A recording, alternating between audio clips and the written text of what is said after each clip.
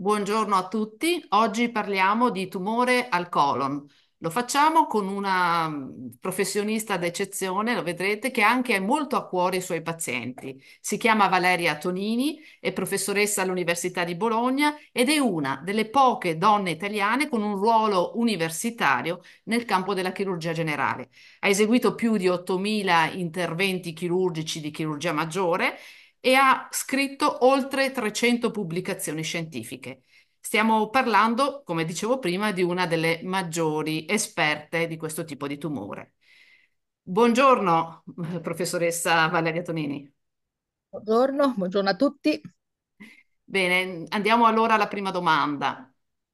Eh, lei è davvero in prima linea in questa forma di tumore, eh, non solo con la sua professione, ma anche con uh, frequenti incontri pubblici, con articoli, eh, non solo scientifici, ma anche di giornale, e, e persino con un romanzo di cui poi parleremo.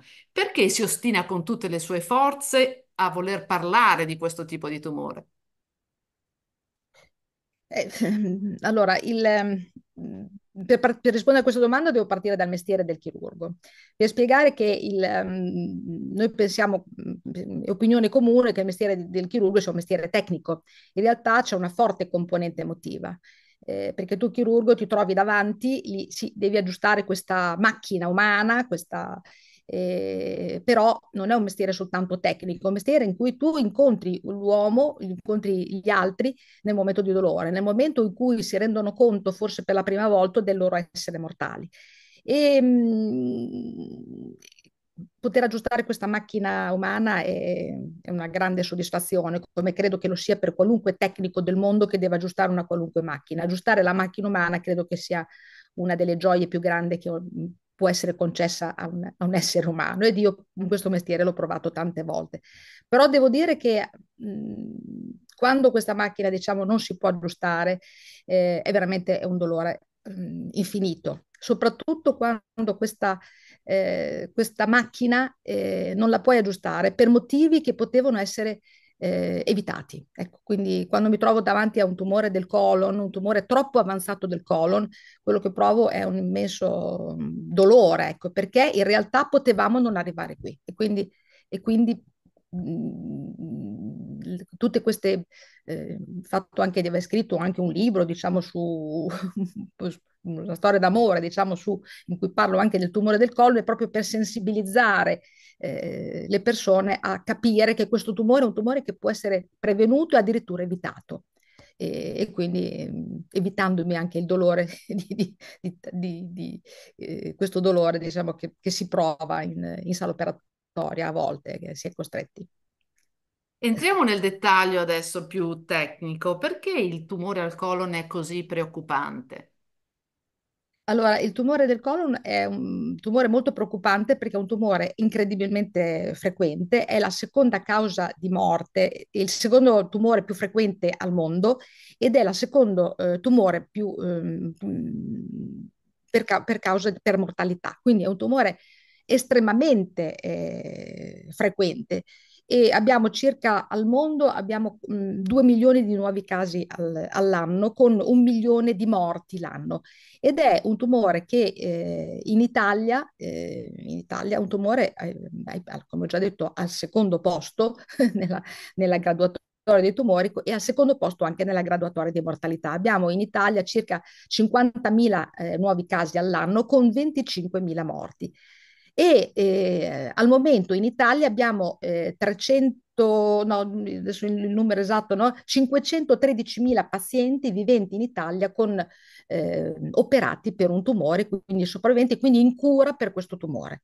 La sopravvivenza è del 65% a 5 anni, quindi capiamo qual è la mole, qual è la gravità, diciamo, di questo tumore e soprattutto questa mh, che è particolarmente importante per un tumore che potrebbe essere addirittura evitato, eh, cosa che invece non avviene per altri tipi di tumore. Ecco. Come avviene eh, l'inizio di questo tumore? Ecco, il, mm, il tumore avviene nella, nella stragrande maggioranza dei casi, parte diciamo da un polipo del colon, un banale polipo del colon che eh, progressivamente, che nel tempo, in un tempo anche lungo, mm, un tempo si pensava entro 5 anni, adesso si pensa addirittura da 7 a 10 anni, pian piano diciamo degenera. E quindi noi avremmo tutto il tempo di asportare, diciamo, questo tumore con una banale, questo polipo con una banale endoscopia prima che questo polipo diventi cancro. Quindi noi mh, avremmo la, la, possibilità di addirittura di evitare questo tumore o comunque con una, sempre con una eh, con un'endoscopia noi avremmo la possibilità di eh, diagnosticare questo tumore in una fase precoce e se questo tumore viene diagnosticato con una fase, con una fase precoce, con un intervento chirurgico ci sarebbe la guarigione senza nessun problema. I problemi invece insorgono quando il tumore diventa un tumore, diciamo, avanzato, per cui a quel punto la chirurgia non è più eh, sufficiente e quindi dobbiamo eh, ricorrere ad altre, ad altre ad altre ad terapie. altre modalità. E, senta, perché c'è questa grande resistenza ad entrare nei programmi di prevenzione che pure ci sono? Ecco, il, il, problema grosso perché eh, ovviamente noi in Italia abbiamo la, la, cioè in Italia, in Europa, cioè nel mondo, la prevenzione viene fatta con la ricerca del sangue occulto nelle feci. Il problema è che, ed è un esame banale perché si tratta praticamente di prendere un campione di feci, mettere una provetta e poi mh, portarlo a, insomma, o all'ASO, alla farmacia, cioè dipende dalle varie ase d'appartenenza. Però in realtà mh, molte persone cestinano la, la lettera d'invito a questi programmi perché non non, non capiscono l'importanza, io tanto sto bene, cosa mi interessa, eccetera. Quindi non c'è stata, per quanto riguarda il tumore del colon, sufficiente informazione riguardo a questa, a questa patologia, cosa che invece è stata fatta per altri tumori, tipo il tumore della mammella ormai ha un'adesione altissima di eh, risposte allo screening. Invece per il colon, che pure è, il, come dicevo, il secondo tumore in ordine di frequenza con una mortalità molto superiore a quella della mammella, in realtà questo non è stato ancora mh, compreso. Quindi abbiamo eh, e quindi è proprio qui che noi dobbiamo batterci per questo tumore che potremmo, come dico, addirittura eliminare e rappresenta la seconda causa di, di, di mortalità per tumore, superiore a quello della mammella. Quindi mh, dobbiamo farlo capire, ecco, bisogna farlo capire. Il, mh, purtroppo aderiscono allo screening un numero diciamo molto, molto basso di, di, di persone.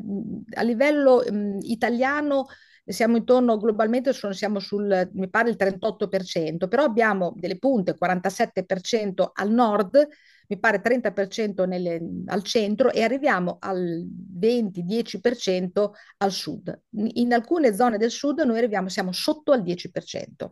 Quindi sotto al 10% vuol dire che la, la, le persone non sono raggiunte dal, dal, dallo screening o per mancata organizzazione o perché non rispondono proprio perché non capiscono, non sanno, non capiscono l'importanza di questa cosa. Per questo poi porta tutte queste, queste persone poi a, ad arrivare quando in ospedale con quel famoso tumore avanzato che io apro e non posso fare niente o posso fare molto poco. E quindi è molto importante fare capire questo prima. Senta, ehm, con la ricerca del sangue occulto nelle feci, eh, quanti tumori si possono scoprire?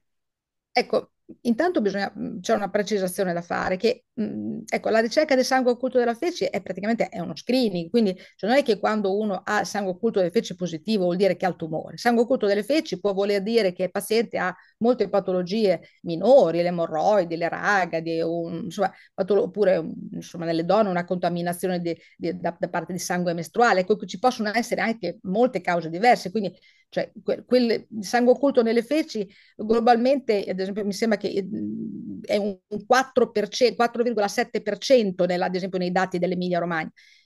Quindi già sono pochi, cioè i sangue occulti positivi sono una percentuale diciamo abbastanza piccola sulla, sulla, ehm, sul numero totale di pazienti sottoposti a screening. Se poi andiamo a vedere nello specifico eh, quali sono i, da- i, dati che otteniamo, vediamo che praticamente su, sul numero totale dei pazienti noi riusciamo a identificare un cancro del colon su mille pazienti, ma identifichiamo ben 130 pazienti su mille pazienti con un polipo del colon. Quindi sostanzialmente 130 pazienti vuol dire che sono quei 130 pazienti che hanno un polipo che poi diventerà cancro e noi riusciamo comunque a trattarlo prima che diventi cancro. Quindi è un, è un, è un, è un, è un grosso impatto eh, quello che noi possiamo ottenere con un esame molto banale. Certo, l'ideale sarebbe poter fare a tutti, diciamo, la conoscopia eh, o, comunque una sigmoidoscopia, come ad esempio viene fatta in,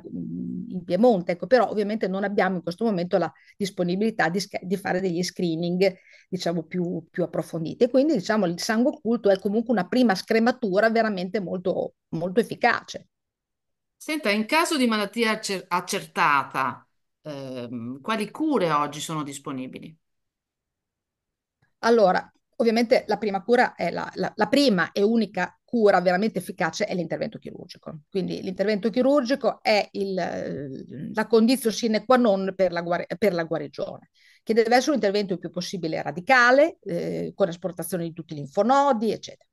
E, e, poi ovviamente se però eh, c'è già una, una, patologia in fase avanzata, quindi un tumore che arriva già alla sierosa, oltrepassa la sierosa, ha preso il linfonodo, ovviamente bisogna ricorrere alle altre terapie, la chemioterapia, la radioterapia la radioterapia viene fatta nei tumori del retto viene fatta anche preoperatoriamente e poi ci sono mh, tutte al momento abbiamo tutta una serie di farmaci oncologici veramente molto, molto, molto più efficace del passato. Noi abbiamo gli anticorpi monoclonali, abbiamo l'immunoterapia, abbiamo dei farmaci veramente molto efficaci, però purtroppo molto costosi.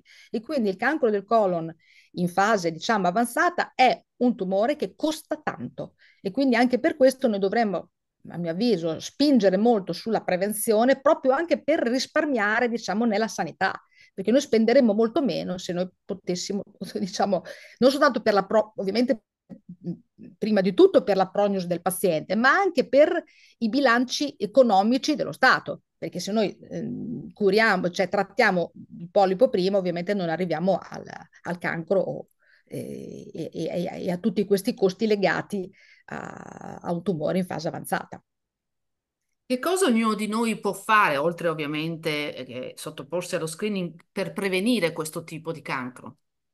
Ecco, questa è una domanda, eh, questa è una bella domanda, perché mh, in realtà eh, noi possiamo fare tanto, perché eh, possiamo fare tanto perché eh, intanto ovviamente Ov- ovviamente mh, faccio una piccola premessa, ci sono ovviamente delle forme, diciamo, che sono forme familiari o genetiche, quindi è molto importante che se, se c'è una familiarità oppure una forma genetica tipo l'FAP o la sindrome di, di, di, la sindrome di Lynch, cioè queste vengono, debbono essere identificate eh, per, per, sottoporre questi pazienti a dei, a dei controlli più, diciamo, eh, ravvicinati e diversi da quelli della popolazione, eh, del resto della popolazione. Ecco, però eh, parlando diciamo di tumori sporadici che rappresentano il 70% diciamo dei casi, noi possiamo incidere cambiando gli stili di vita, stili di vita che sono praticamente le abitudini alimentari, che ad esempio dovremmo evitare il, per questo tipo di tumore, bisogna evitare le carni rosse, bisogna evitare gli insaccati,